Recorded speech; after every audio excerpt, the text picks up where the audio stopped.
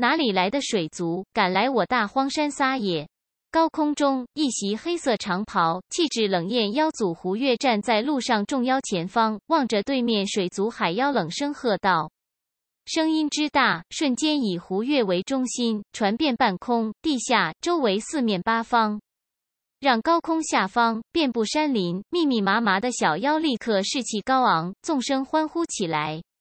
这气息，高空对面哗哗浪涛声不断。”一片蓝色水浪之上，身披金色、全身威武盔甲、面色威严中年男子白肩看着远处冲天妖气，感受着对面为首那女妖的庞大气息，不由沉声开口，随即看向身旁身形修长、肤白女子道：“女儿，你不是言杀你夫君、杀我小婿那妖怪，不过妖王之境吗？为何那女妖仅外露气息，实力之强，就是你爹我也不敢大意。”听到父亲的话，大荒山曾经的三大王黑狗妖白面之妻美姬面色不由一变，马上道：“当初夫君传话于我就是如此。当时为了真真女儿走得太急，没能亲眼见到杀害夫君凶手。不过事后听到那凶手传话，说他是大荒山什么山主。我听那声音，似乎凶手是男生。”凶手是男子，那眼前那女妖又是谁？还有这地方，你确定没带错地方？美姬连忙道：“没找错，女儿在这里生活了数年，定不会找错。至于那女妖，女儿从没听夫君提过，实在不知。”都督。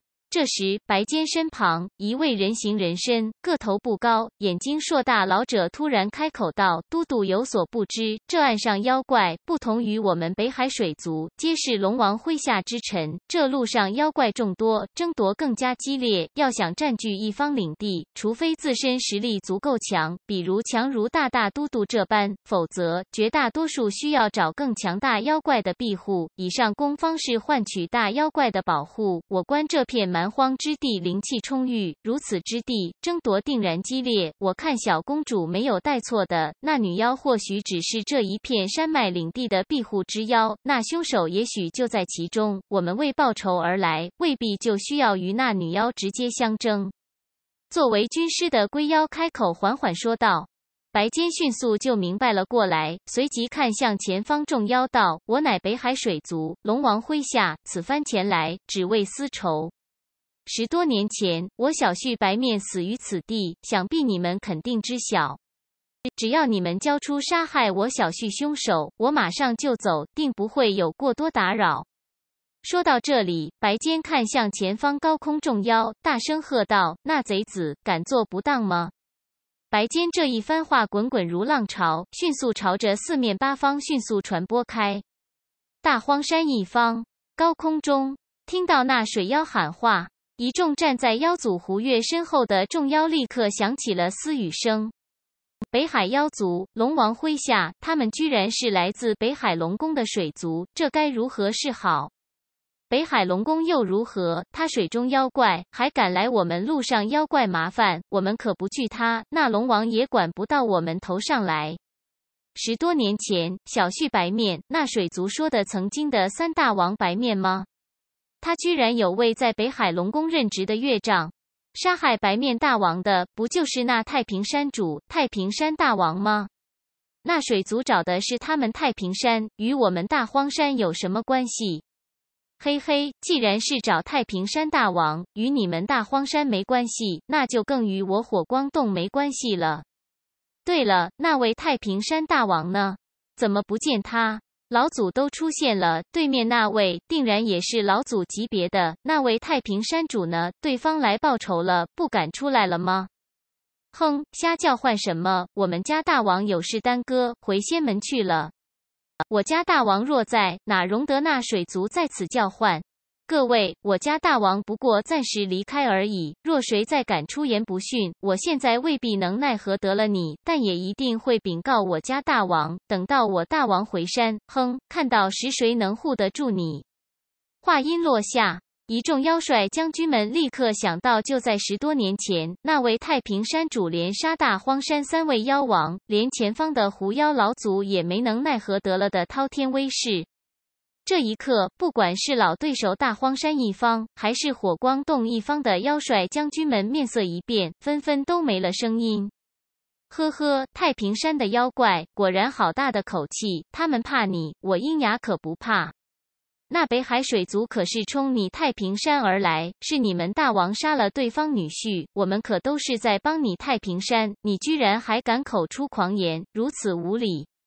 哼，什么是恩，什么是仇，我们太平山自会清楚。你不用拿此事来说事。我们大王离山前早有吩咐，让我们听从老祖吩咐。你可以走的，没谁会怪你。站在白云霄身旁，一位肤色黝黑、样貌桀骜青年开口，毫不客气还击道：“被这样一说，之前说话的那位鹰牙将军立刻没话了，冷哼一声，不敢再吭声。”身后一众妖帅将军们的发言斗嘴，自是被站在妖祖胡月身后三位妖王听了清楚分明。哼！一位身着黑金长袍、身形修长、面容冷峻、深目之中不时有银色寒芒闪烁而过的中年男子，转头瞥了刚刚说话的太平山一白一黑俩青年狼妖一眼，随即冷哼一声，道：“道士牙尖嘴利。”说着，黑金长袍中年男子看向一旁火光洞俩妖王道：“听闻两位与那位太平山主打过交道，不知道如何看待那位山主？”听到鹰牙银幕妖王问起这事，一身白袍的火光洞大妖王钢牙沉默了下，随即开口道：“很强。”我听到对方钢牙如此评价，银木笑了笑：“这老兔子怕不是被对方吓破了胆吧？”再问道：“有多强？”钢牙大致能猜到对方为何发笑，也不在意，继续道：“元璋比之大王如何？”银幕这次沉默了，认真思考后道：“元璋虽强，但我有自信胜过他。”钢牙也不在意早已经死去的元璋与这阴妖银幕到底谁更强，只是道：“那元璋与其二弟金眼联手，也未能在那位山主手下走过半个时辰。”话音落下。阴牙之主银幕妖王立刻沉默了。钢牙看着眼中，心中顿觉爽快。这阴妖银幕实力强劲，又仗着与北方狮驼国的关系，一向不把周围其他几位邻居放在眼里。他倒是想看到对方与那白浪打起来，但有狮驼国重臣的老祖在，他估计银幕与那白浪是打不起来的，有点可惜了。钢牙继续看向远处天空那一群海族。他肯定是不愿意为那太平山主、为那白狼挡枪战斗的，但是老祖有令，他不过是听从老祖之命而已。最前方，狐妖妖祖胡月将身后所有声音都听在耳中。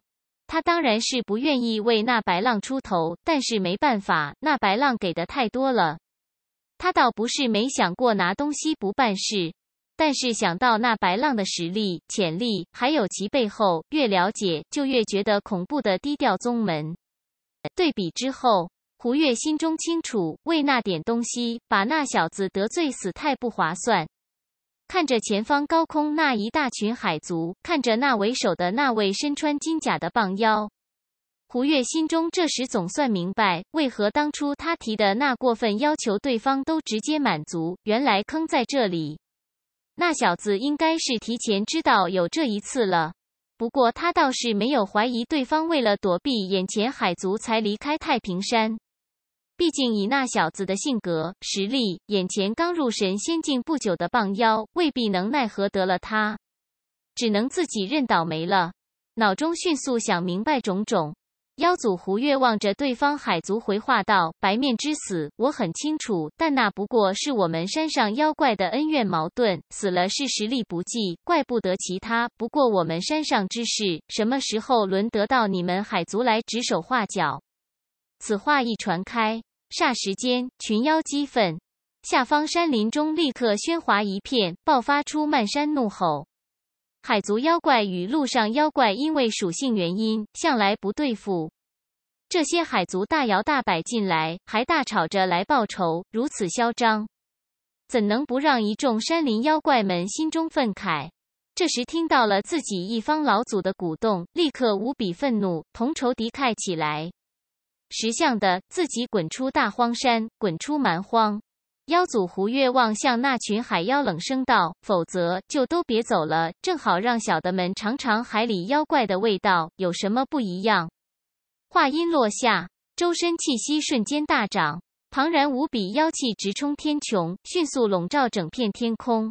大荒山一方，听到老祖开口，激励，不管上方高空群妖，还是下方山林众妖，气势气息瞬间暴涨。一个个都手持兵器，杀气腾腾的望向对面海族，嗷嗷直叫。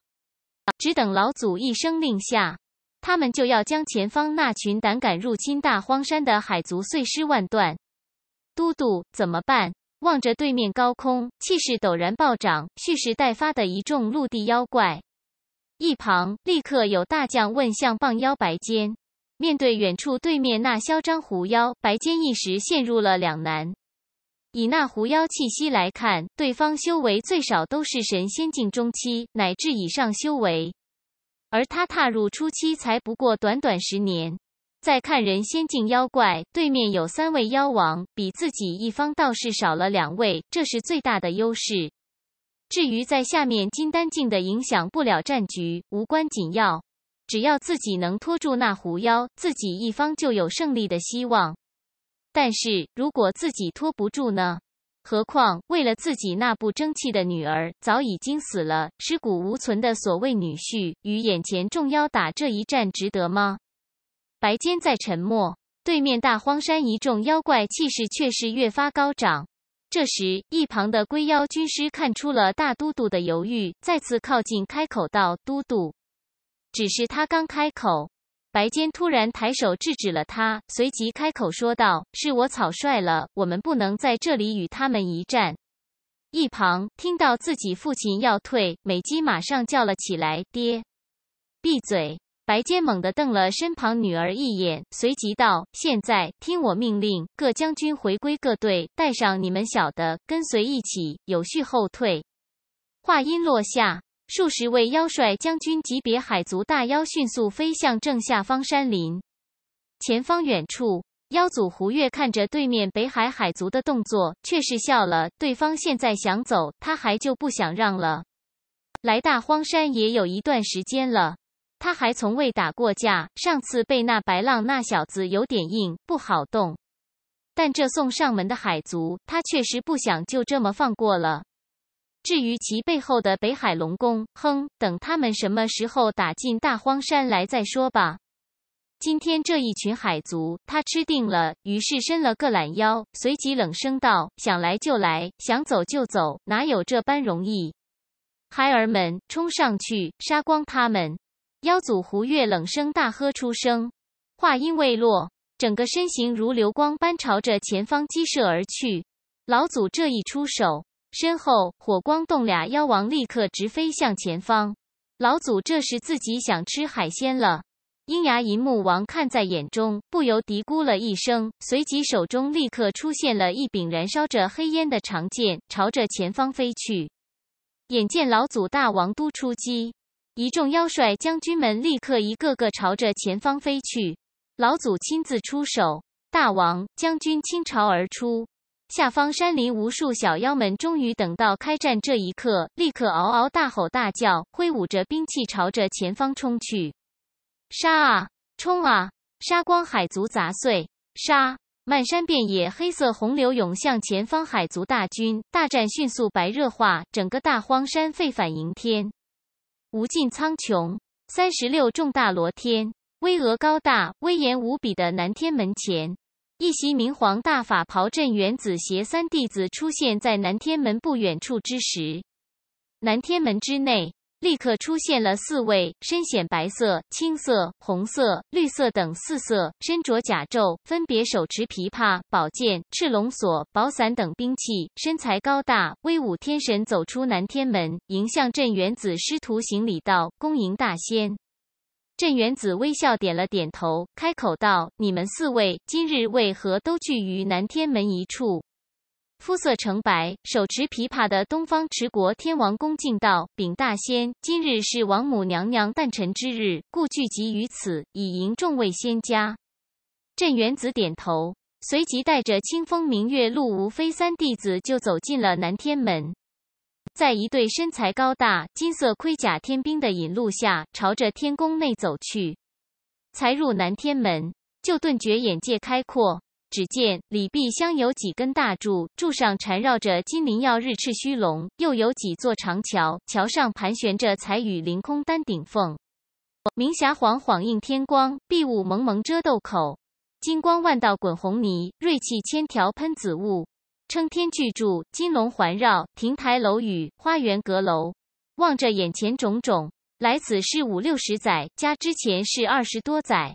两世相加，路无非也只觉。若论大气，富丽堂皇，金碧辉煌，奢美华贵，此地毫无争议，当为第一。